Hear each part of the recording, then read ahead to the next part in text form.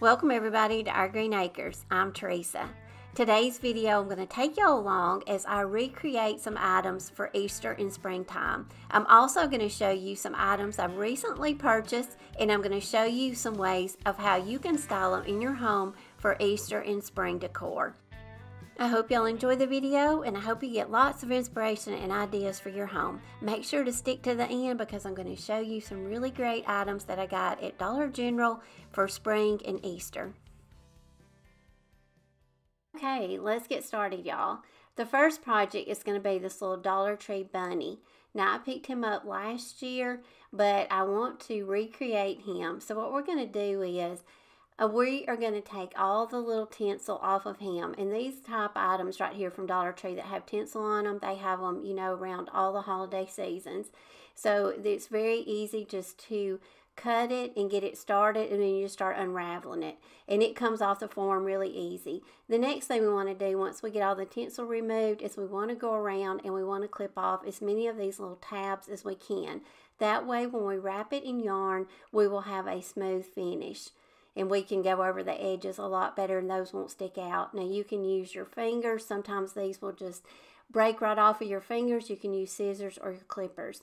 Now I'm starting out with some hot glue around the bottom because that's where I'm going to start. And then you want to you want to put a really good amount of hot glue to get started because we're going to go around some rounded edges and that way our yarn won't slip. Now once you start right here it went really well because it doesn't slip and so I'm only going to apply glue where I need it.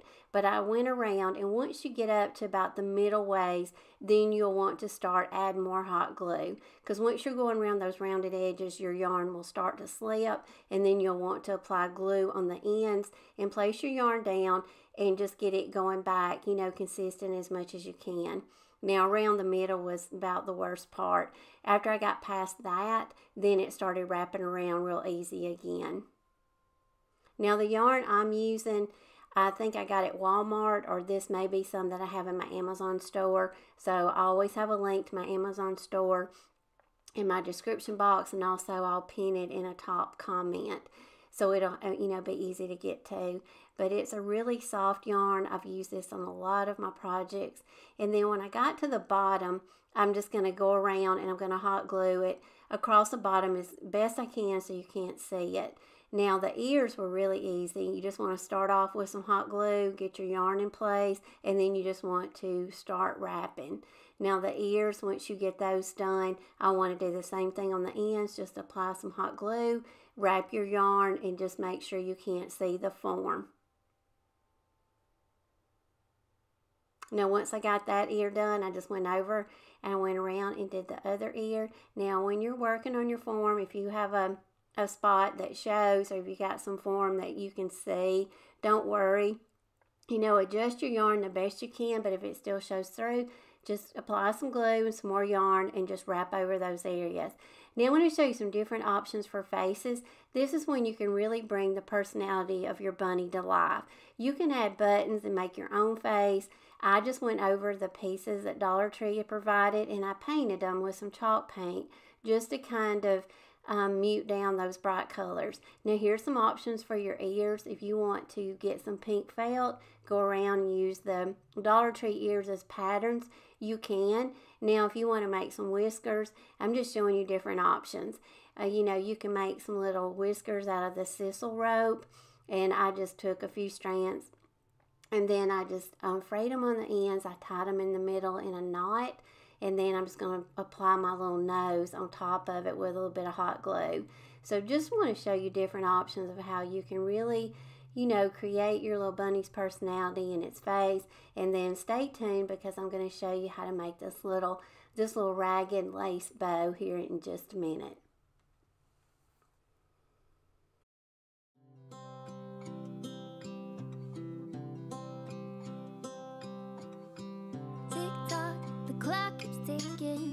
Don't know what I should do, and I wish you would be right here with me. My mind is filled with pictures of when we used to dance, but now I don't know where you are. I missed you so bad, won't you come back to me? I've got you in my head, you're all that I see. I've lost all my chances, I know that I am too late. Now I want to show you a cute little project that I'm going to use some little yard sale Bundt pans. These are little mini ones and I paid a quarter each for these. But I've had these in my supplies for a while and then I, I just had a great idea because I love this little bunny mold right here. He is so popular and I've used him so many times but I never get tired of him. So I just, you know, put some cornstarch in my mold I got my air dry clay out and then I made my little bunny and I always apply mine with wood glue. Now I'm just going to put a little bunny on the front of one of the little mini pans and then on the front of the other one I'll show you the mold I use for it. Now once you get your mold on, you'll want to lay your pan down to where your bunny won't slip off because once you put that glue on there, it will slide and let it dry. Now this is an IOD mold. It was a first generation mold. It is retired, but if you Google it, you may can still find it. So some vendors may still sell it. I will link it down below the name of it. So I just applied it to my other little mini pan I took them outside after my molds had dried and I'm just going to give them a couple of coats of Rust-Oleum white chalk paint. I went around them with my fingernail with that spray paint and I gave them some distressing. I just kind of chipped around on the paint with my fingernail. So now I've got some cute little mini pans I can put on tier trays. I can add, you know, some raffia to it uh, and just add some eggs. And I'm going to show you these eggs here in just a minute and tell you all about where I got these from because these right here are absolutely beautiful. So I'm just going to give you some ideas of how you can stage these little mini pans.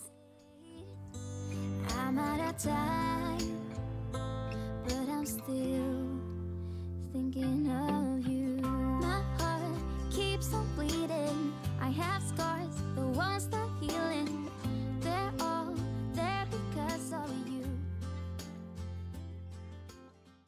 now the next piece is going to be a thrifted um, piece that I just acquired from Goodwill and I paid $5.99 for it.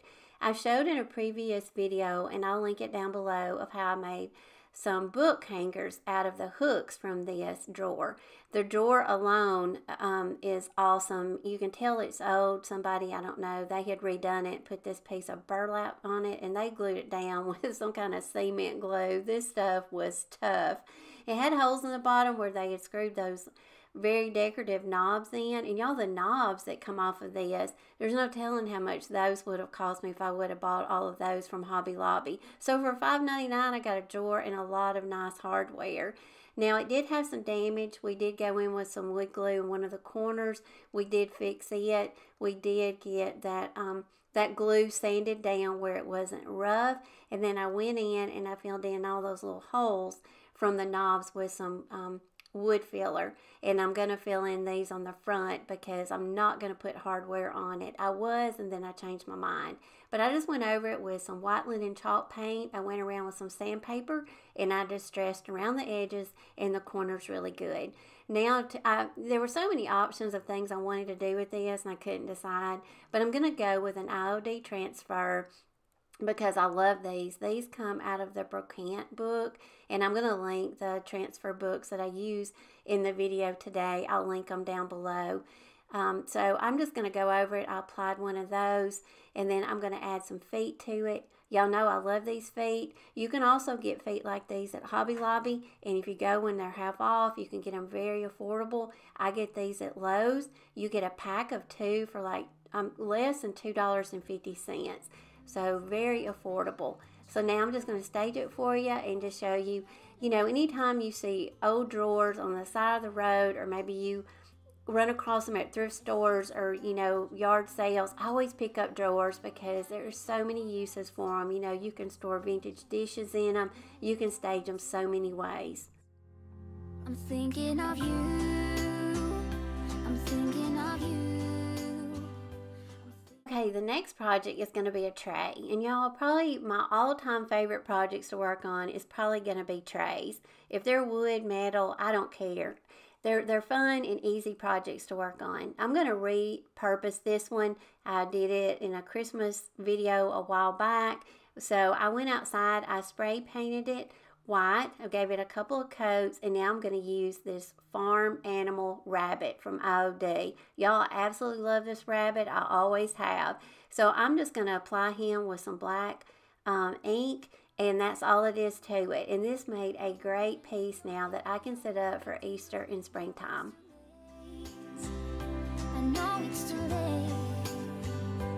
I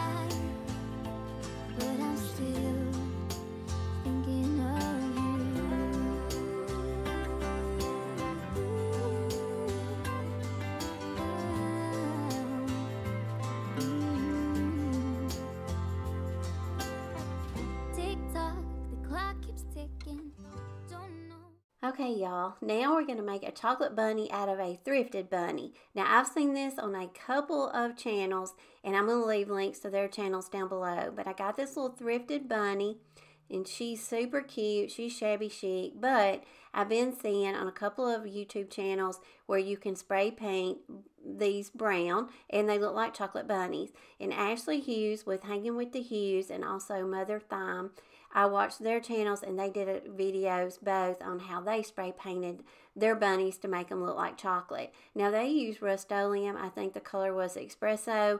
That chalk paint was seven dollars, seven dollars I think. So I just went with the Dollar General version, and I think that can was five. But you just take it outside, give it a couple of coats of brown um, shiny paint, and y'all, they look like chocolate bunnies. I just you know, basically tied a little cream ribbon around it and look how cute this looks in my decor.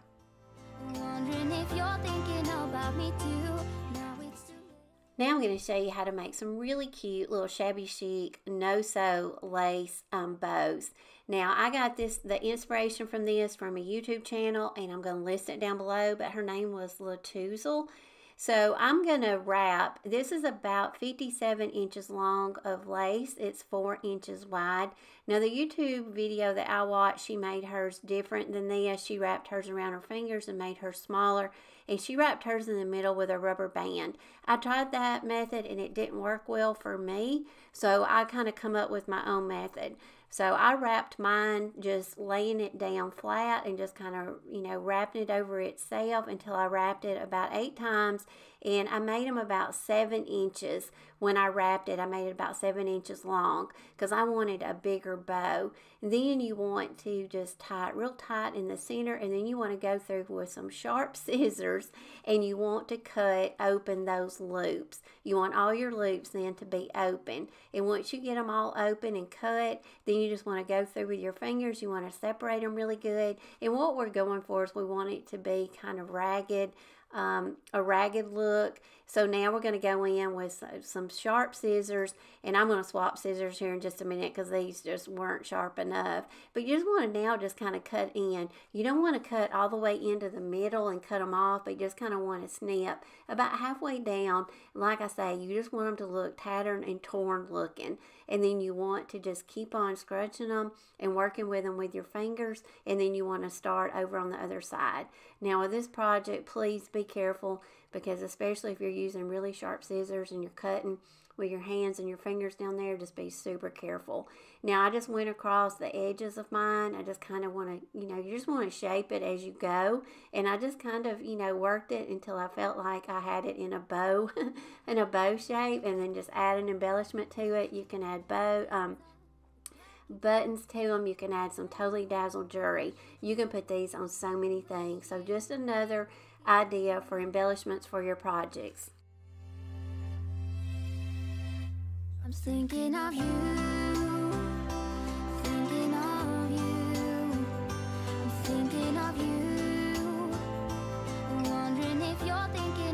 me too. Now it's too late, now it's too late,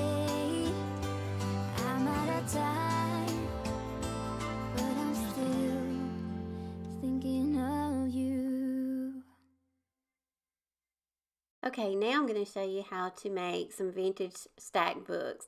Now, this is nothing new. You've, you know, we have seen so many ideas and inspiration on how to make stack books.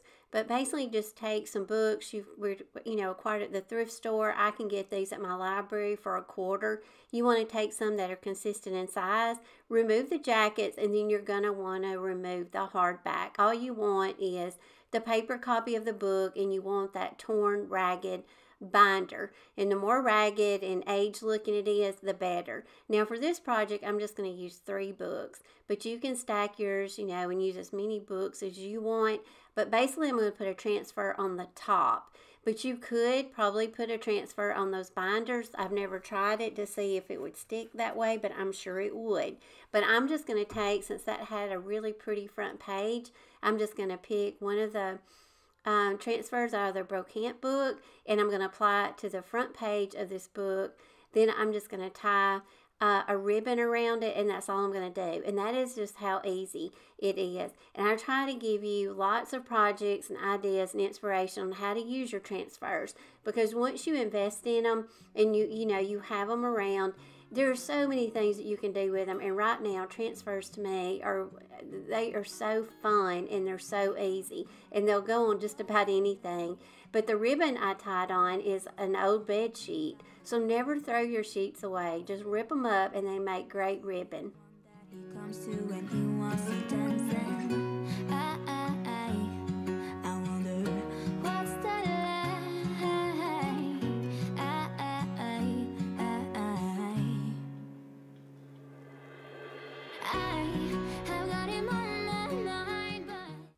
Now using those same transfers, I'm going to show you a really easy project, project just using a piece of scrap wood. And y'all know I love scrap wood. This is a piece I've probably used on another project, but I just chalk painted it and I had distressed it. Now I'm going to take another one of those transfers. I'm just going to show you how easy the transfers can be to apply to something like this. They apply really well to wood and just how much um, this just bumps up a piece of scrap wood. And now to embellish it, I want to give you another idea. Little girls' headbands. Now you can find these a lot of times very affordable. These come from Burke's Outlet. I got three to a pack for $4.99. Just put your little headband on your project and it's, it's that easy. You don't even have to make a bow.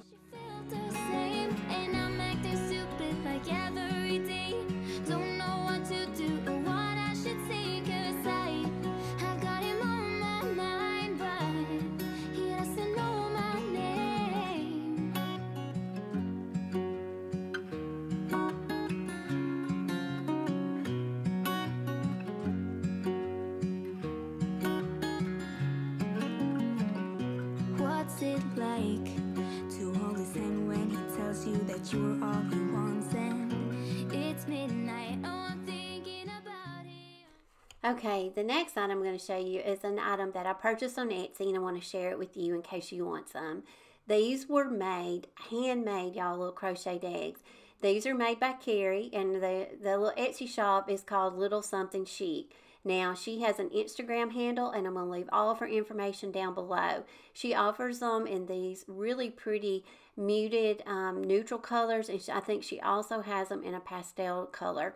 Y'all, these arrived so quick, and I want to say they're less than $12, around the $12 range. These are absolutely beautiful to be handmade. She also gave me a handwritten thank you note, and I always think that is such a personal touch. So just wanted to share these with y'all in case you want to go out and get some. Make sure to go over and check her out on Instagram. Okay, on Wednesday, I put out a video of my, a new Dollar General that was uh, close to my home, and I gave y'all a, a, shop with me. I took y'all in the store and let y'all see, see some really pretty spring decor for 2022. And then I told you I would, uh, you know, feature what I purchased in my next video. So, of course, today I'm going to show you some of the things I got. There will be some more things upcoming because I'm not going to have time uh, to put them all in this video today, but stay tuned. And in my next video, I'll put some more. But I just want to show you some of the things that I purchased from that video. Y'all, their, their spring decor is absolutely gorgeous. But as you can see, I got that white tray and I'm going to stage it for you in just a minute. And I also got that beaded garland. Now, I'll leave a link to that video down below. So make sure to go out and watch it. And then this one will make more sense. But y'all, they're candlesticks. This candlestick right here was not at that store, but it was at another Dollar General and it was only $8. They only had one of them and I guess I better be glad because if I would have had more, I would have bought more of them. Now, I also purchased this little bunny. I had um, featured him. He was just $1. He come in yellow, blue, and pink, so I grabbed a pink one. I thought for $1. You know, he is so cute just to sit around in your Easter and your spring vignettes, and I didn't even have to do anything to him.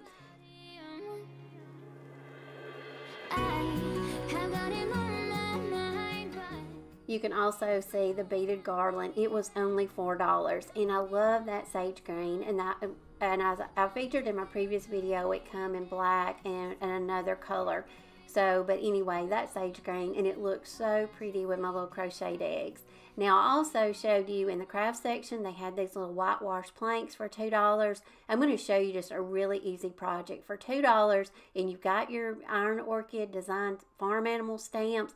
Take your rabbit, and apply some black ink to him. And I'm showing you here, if you get ink around the edges uh, of, of your mat of your of your rabbit or whatever you're stamping, this is that was a good technique. Just use a baby wipe and go around it, and that way that will you know, eliminate if you get any bleeding. I know that's been helping me because every time I stamp, I learn I learn more things of how to stamp better. But just apply, you know, him on there, pressing down really good, and look how cute he made this little $2 plank from Dollar Tree. I'm just going to add a little bow to it, and now he's ready to sit around.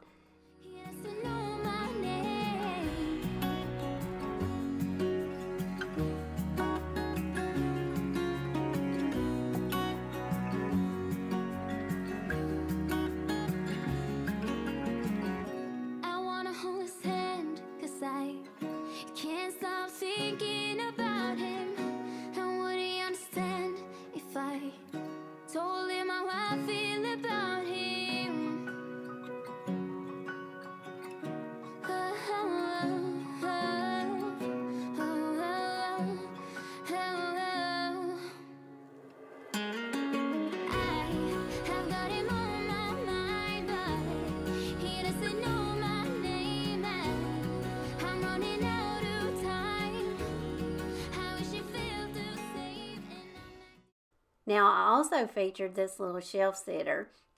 It was $1, and I'm going to give you some cute ideas of things that you can do with it.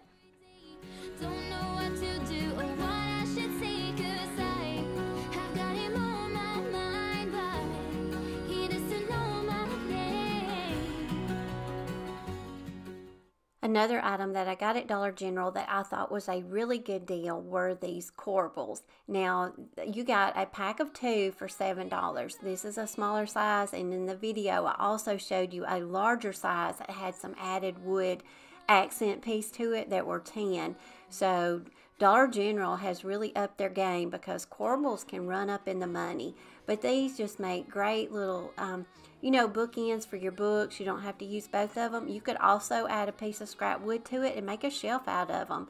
Now I got this cute little planner. It was $5. They had this in a couple of colors. Now this home sign, they had some great wall uh, decor um, pieces. It was only $3. But I automatically, when I saw it, it's a very nice piece. It's very heavy. But I thought, you know, this will be great to display on your tier tray. You know, you could also add it to some open shelving, but it just makes a great piece that you can just add to any of your vignettes just to add a little bit more detail. Now the bunny that's in my tier tray and also the tier tray that you see, these will be linked in my Amazon store. So if you're looking for some cute Easter and spring decor for your home, make sure to check out my Amazon store. Okay, y'all, it's that time again where I have to tell y'all goodbye. But I hope y'all enjoyed the video today. I hope y'all enjoyed seeing all the things that I recreated and I made. And I hope I gave y'all lots of inspiration ideas for your home for Easter and springtime. As always, I appreciate each and every one of y'all. I love y'all, and I will plan to see y'all in my next video. Bye, y'all.